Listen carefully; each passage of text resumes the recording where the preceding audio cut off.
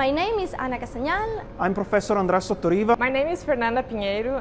Hi everybody, I'm Aurora Savino. I am a group leader at the Structural Biology Research Center at Human Technopole. I'm the head of the Center for Computational Biology at Human Technopole. And I work in Francesco Iorio's group. And I am a group leader at the Computational Biology Center at Human Technopole. In my laboratory, we study a big problem in cancer medicine, which is the emergence of treatment resistance, which is the fact that therapies work very well in the first instance in many patients. However, some patients stop responding to treatment and the tumor comes back.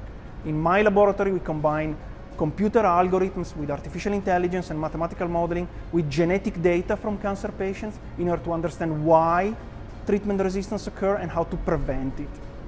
In our group, we are trying to identify the best treatment for each patient in a personalized medicine approach. Uh, for this, we use huge genomic data from patients and in vitro systems that we analyze through advanced complex tools uh, that we uh, computationally develop in our lab. Uh, with this, we can select the best drug which has the highest benefit and lowest amount of side effects for each specific context. Also, we can select drugs and apply them to new contexts in a drug repurposing approach. In my lab, we use a combination of microscopy, biochemistry, and biophysics to understand how multiprotein complexes add biochemical marks on RNA. When this process doesn't work properly in the cell, this can lead to disease, and one example is leukemia.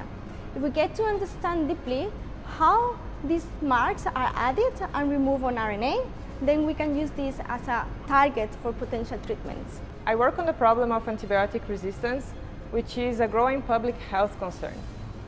Resistant bacteria compromise antibiotic treatment of millions of people worldwide every year.